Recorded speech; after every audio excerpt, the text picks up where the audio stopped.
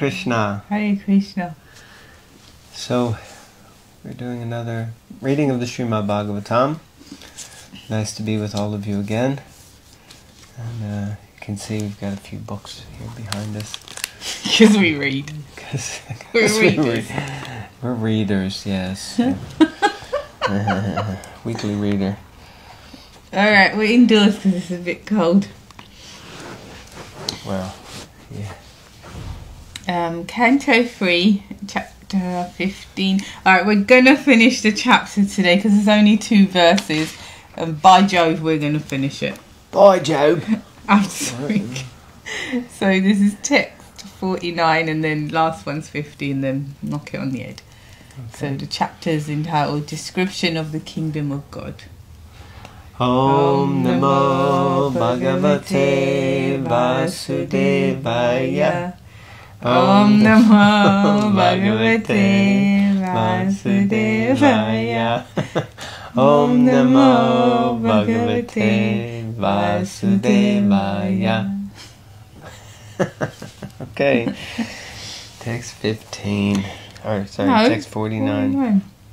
O Lord, we pray that you let us be born in any hellish condition of life, just as long as our hearts and minds are always engaged in the service of your lotus feet. Our words are made beautiful by speaking of your activities, just as Tulasi leaves are beautified when offered unto your lotus feet. And as long as our ears are always filled with the chanting of your transcendental qualities. Hmm. Purport. The four sages now offer their humility to the personality of Godhead because of their having been haughty in cursing two other devotees of the Lord. Mm.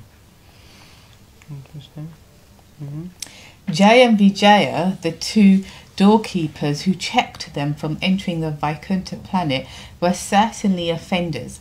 But as Vaishnavas, the four sages should not have cursed them in anger. There you go. Didn't I say that? Well, actually, the ultimate is that they're both. They were both in the wrong. That's One was more in the wrong than other. Not necessarily. Well, I just continue though. After the incident, they became conscious that they had done wrong by cursing the devotees of the Lord, and they prayed to the Lord that even in the hellish condition of life, their minds might not be distracted from the engagement of service to the lotus feet of Lord Narayan. Those who are devotees of the Lord are not afraid of any condition of life, provided there is constant engagement in the service of the Lord. It is said of the Narayana Para, or those who are devotees of Narayan, the Supreme Personality of Godhead, Na Kutascha na Bibyati. They are not afraid of entering a hellish condition, for since they are engaged in the transcendental loving service of the Lord, heaven or hell is the same for them. In material life, both heaven and hell are one and the same because they are material. In either place, there is no engagement in the Lord's service. Therefore, those who are engaged in the service of the Lord see no distinction between heaven and hell. It is only the materialists who prefer one to the other. These four devotees prayed to the Lord that although they might go to hell because they had cursed devotees, they might not forget the service of the Lord. So it seems both of them were kind of in the same mood of of recognizing they're going to have some kind of reaction for the way that they acted, uh, a hellish sort of reaction. But it's simultaneously they're both praying that regardless of what reaction they get and what situation they're going to have to suffer in, that whatever it is, just please don't let me forget you. So it's very powerful. The transcendental loving service of the Lord is performed in three ways with body, with the mind, and with the words. Here the sages pray that their words may always be engaged in glorifying the Supreme Lord. So they want to always be able to chant the glories of the Lord. One may speak very nicely with ornamental language, or one may be expert at controlled grammatical presentation. But if one's words are not engaged in the service of the Lord, they have no flavor and no actual use. The example is given here of the tulasi leaves. The tulasi leaf is very useful, even from the medicinal or antiseptic point of view. It is considered sacred and is offered to the lotus feet of the Lord. the tulasi leaf has numerous good qualities, but if it were not offered to the lotus feet of the Lord, tulasi could not be of much valuable, much value or importance. Mm. Similarly, one may speak very nicely from the rhetorical or grammatical point of view, which may be very much appreciated by a materialistic audience, but if one's words are not offered to the service of the Lord, they are useless. The holes of the ears are very small and can be filled with any insignificant sound. So, how can they receive as great a vibration as the glorification of the Lord? So, how can they receive? Yeah. So, the holes of the ears are very small and can be filled with any insignificant sound. So, how can they receive as great a vibration as the glorification of the Lord? The answer is that the holes of the ears are like the sky, and the sky can never be filled up. The quality of the ear is such that one may go on pouring in vibrations of various kinds, yet it is capable of receiving more and more vibrations.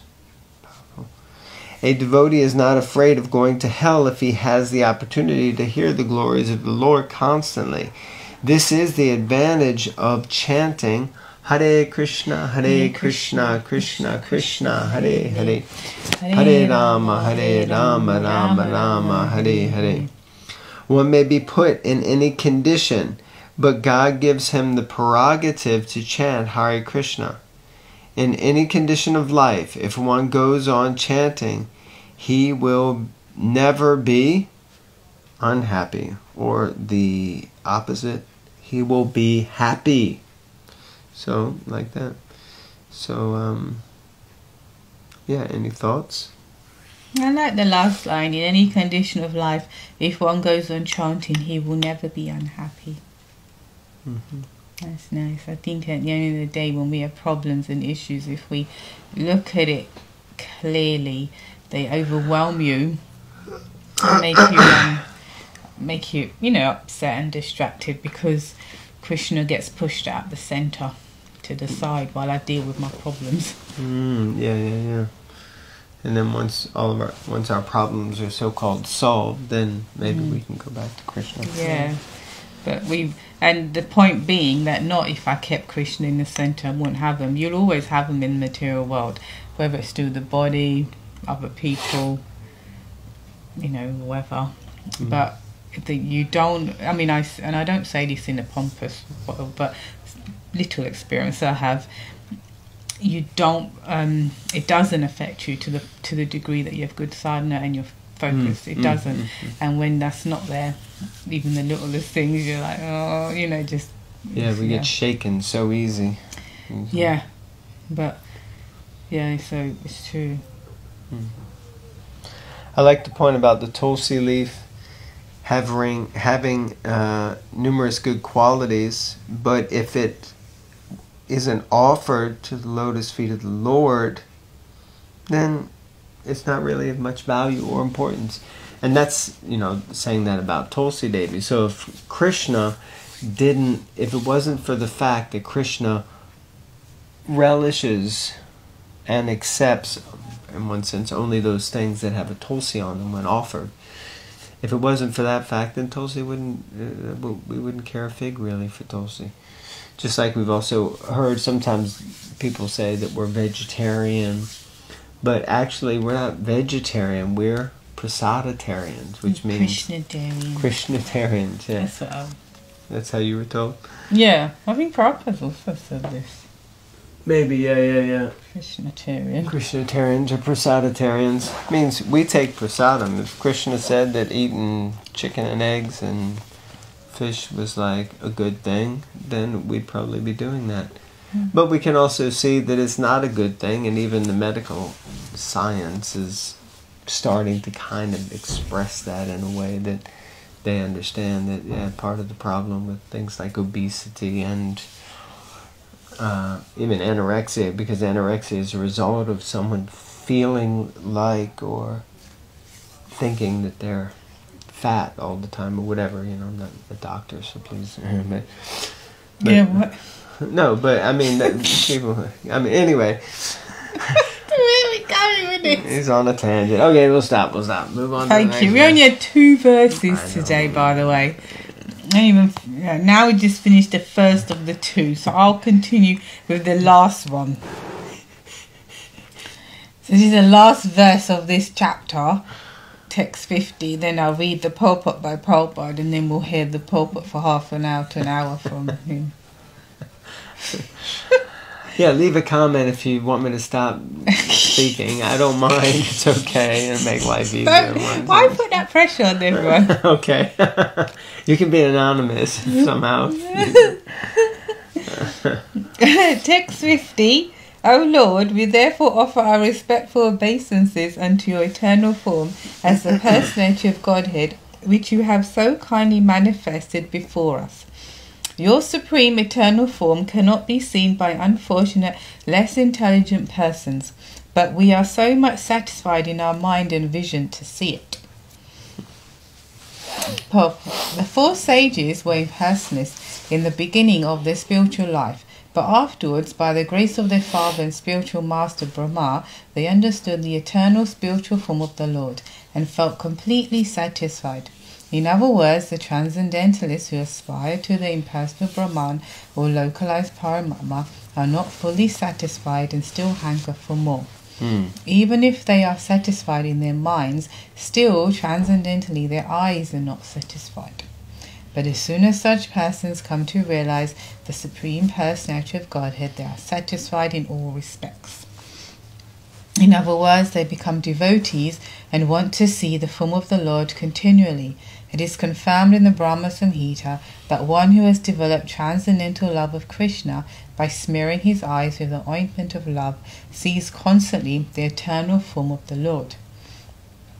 The particular word used in this connection, anatmavatam, signifies those who have no control of the mind and senses and who therefore speculate and want to become one with the Lord. Hmm.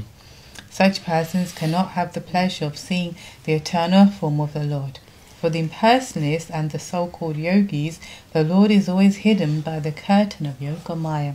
Hmm. Bhagavad Gita says that even when Lord Krishna was seen by everyone while he was present on the surface of the earth, the impersonalists and the so called yogis could not see him because they were devoid of devotional eyesight. Mhm. The theory of the impersonalists and so called yogis is that the Supreme Lord assumes a particular form when he comes in touch with Maya, although actually he has no form. This very conception of the impersonalists and so called yogis checks them from seeing the Supreme Personality of Godhead as he is. The Lord, therefore, is always beyond the sight of such non devotees. The four sages felt so much obliged to the Lord that they offered their respectful obeisances unto him again and again. Mm-hmm. Thus um, end Bhaktivedanta purports. Third canto, 15th chapter of Srimad Bhagavatam entitled Description of the Kingdom of God.